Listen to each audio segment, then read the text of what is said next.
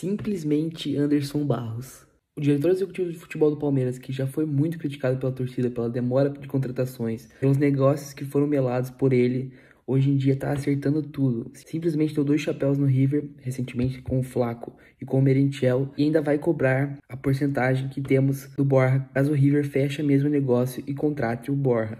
Simplesmente Magic Barros.